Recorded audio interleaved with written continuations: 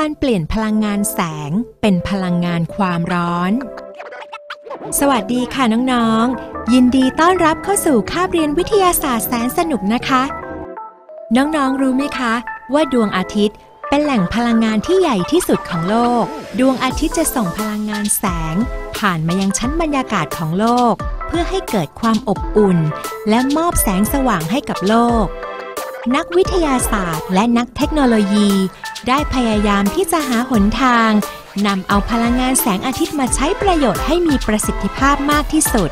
เพราะว่าพลังงานจากดวงอาทิตย์ เป็นพลังงานที่สะอาด ไม่เป็นพิษต่อสิ่งแวดล้อม ในปัจจุบัน นักวิทยาศาสตร์สามารถรู้ได้ว่า แสงจากดวงอาทิตย์นั้น เป็นพลังงานรูปแบบหนึ่ง ที่สามารถเปลี่ยนเป็นพลังงานรูปแบบอื่นได้ เช่น พลังงานความร้อน และพลังงานไฟฟ้าเป็นต้น และสำหรับวันนี้เราจะมาเรียนรู้การนำเอาพลังงานแสงจากดวงอาทิตย์ มาเปลี่ยนเป็นพลังงานความร้อนกันนะคะ การเปลี่ยนพลังงานแสงเป็นพลังงานความร้อน เมื่อเราออกไปอยู่ในบริเวณที่มีแสงจากดวงอาทิตย์เราจะรู้สึกร้อน เนื่องจากเราได้รับความร้อนจากดวงอาทิตย์ซึ่งเราสามารถนำพลังงานความร้อนจากดวงอาทิตย์ มาใช้ประโยชน์ได้ เช่น การอบพืชผลทางการเกษตร เช่น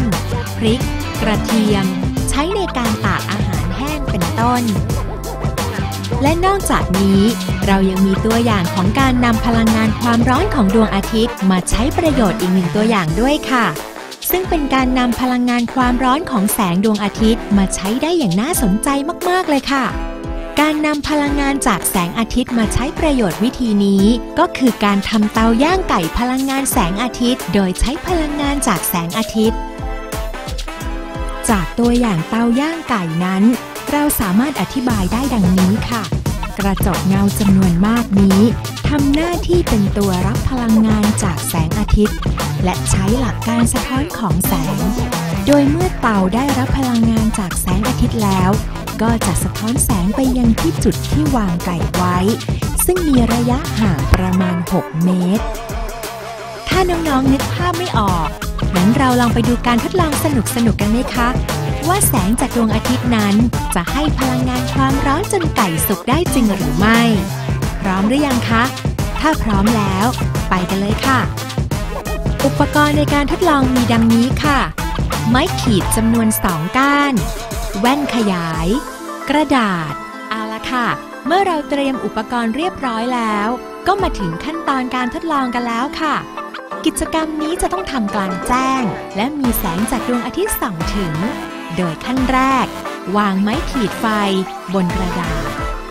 นำแว่นขยายรับแสงจากดวงอาทิตย์ ขยับแว่นขยายให้จุดรวมแสงตกที่หัวไม้ขีดไฟ เวลาประมาณ 3-5 นาที จากนั้นสังเกตผลที่เกิดขึ้น จากการทดลองเราสามารถสรุปได้ว่า พลังงานแสงอาทิตย์ สามารถเปลี่ยนเป็นพลังงานความร้อนได้จากที่ได้ความรู้กันมากมายแล้ว ตอนนี้ก็ได้เวลาสรุปความรู้ที่ได้ในคาบเรียนนี้กันแล้วค่ะ แสงจากดวงอาทิตย์นั้น เป็นพลังงานรูปแบบหนึ่ง ที่สามารถเปลี่ยนเป็นพลังงานรูปแบบอื่นได้ เช่น พลังงานความร้อน และนอกจากนี้ พลังงานแสงจากดวงอาทิตย์ ยังถือเป็นพลังงานสะอาดที่ไม่เป็นพิษต่อสิ่งแวดล้อมอีกด้วย เป็นอย่างไรบ้างคะน้องๆ วันนี้ได้ทำกิจกรรมพร้อมทั้งได้ความรู้ไปมากมายเลยใช่ไหมคะคาบต่อไป เราจะมาเรียนเรื่องอะไรกันต่อนั้น น้องๆออย่าลืมติดตามนะคะ สำหรับวันนี้หมดเวลาแล้ว เอาไว้เจอกันคาบหน้านะคะ สวัสดีค่ะ